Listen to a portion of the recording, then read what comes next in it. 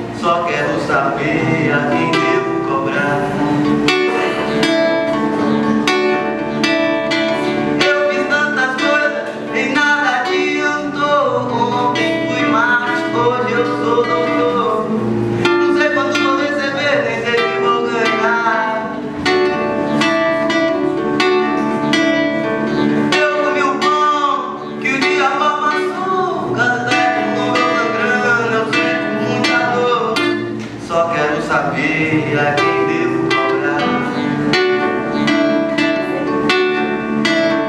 Não sei quanto vou receber,